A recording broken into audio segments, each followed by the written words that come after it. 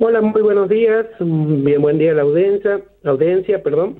Sí, le comento. Eh, ayer estaba escuchando una nota que le hicieron a la señorita María José Figueroa del Instituto de Seguro, que es una referente, según la nota. Bueno, ella sostiene que eh, hay una, una cobertura para ella excelente, adecuada, que es fluida, y verdaderamente no sé a, si se refiere a los que a los demás pacientes, pero a los trasplantados eh, está equivocada y nosotros lo vivimos eh, mes a mes con, entre, con el atraso del medicamento que sí o sí nosotros tenemos que tomar de por vida. Son los medicamentos que nos que nos protege para cualquier pérdida de, nuestro trasplante. Por ejemplo, el es de riñón.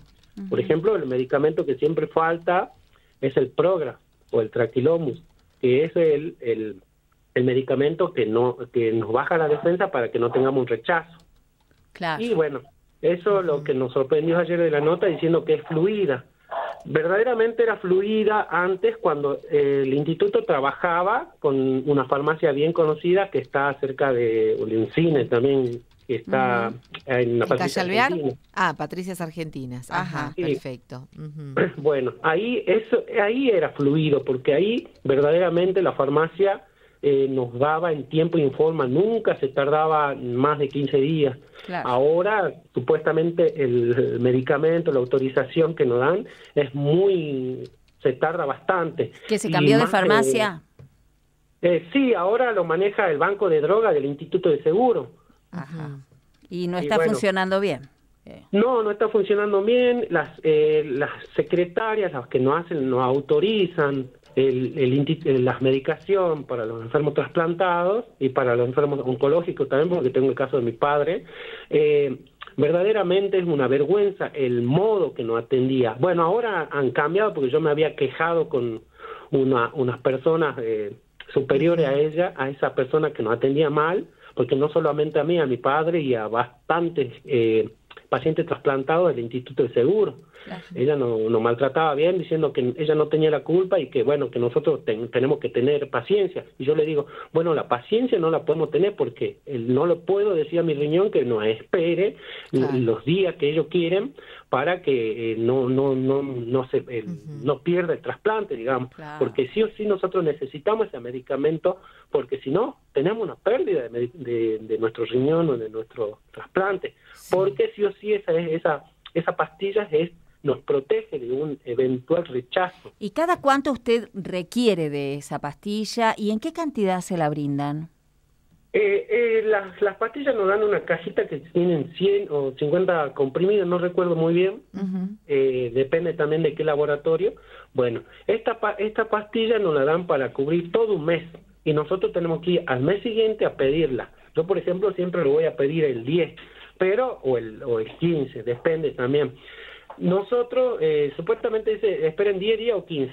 Yo la mayoría de las veces estoy esperando un mes y medio, un mm. mes y 10 días, y no es así.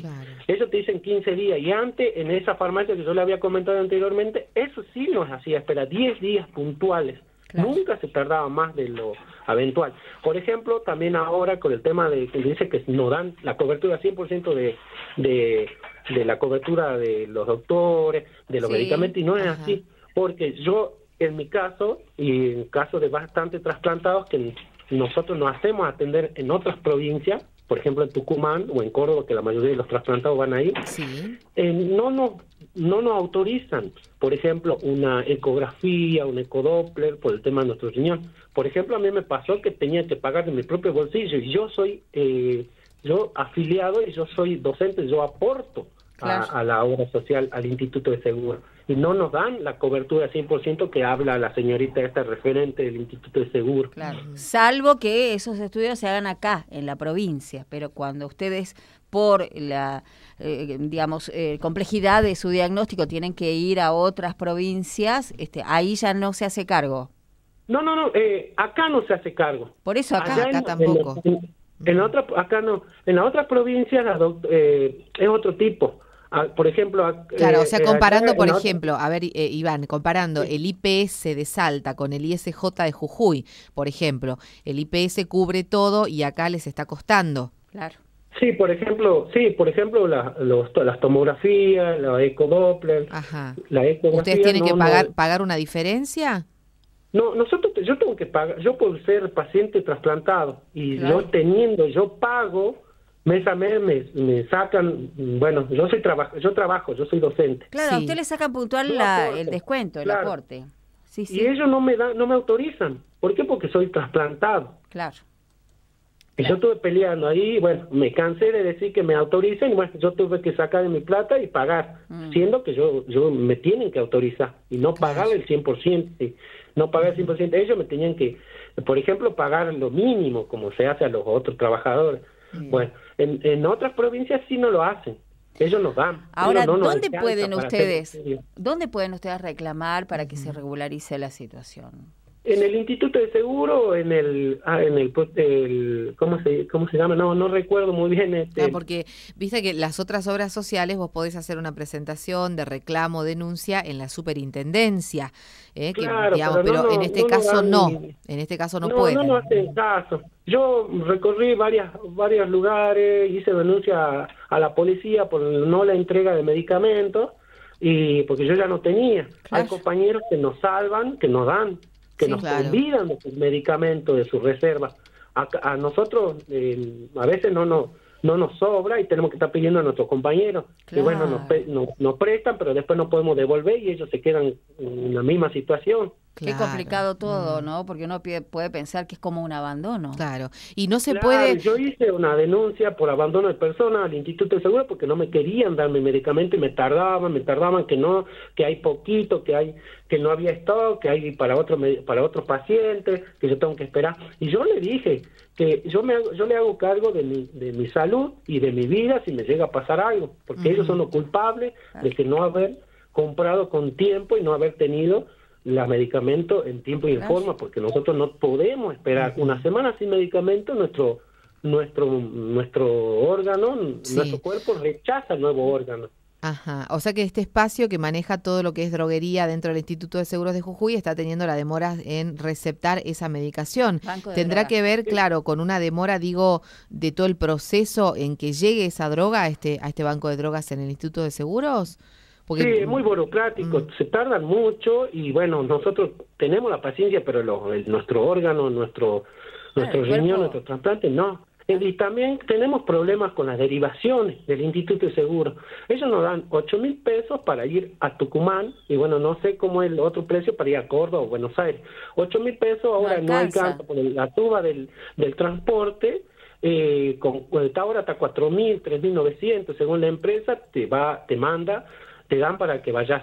Claro. La empresa, eh, eh, los colectivos están caros, cuatro mil pesos, ocho mil, cuatro mil va a ir, o el ocho mil va a ir y vuelta.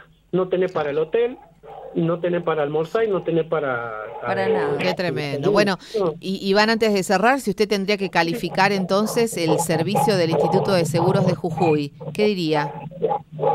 De puntual, muy mal, muy mal, y nos dice que me da un poco de bronca y tristeza por lo que dice que el Instituto de Seguro cumple el 100% del trasplantado, pero no es así. Claro. Yo tengo varios compañeros que tienen el mismo problema, pero no se animan a hablar. ¿Por qué? Porque ellos tienen, eh, no están, están por ley ahí. Mm. Y hay un problema de que hay muchos colegas, eh, muchos compañeros que están con, por la ley y le están diciendo que se tiene que cambiar sí o sí al incluir salud.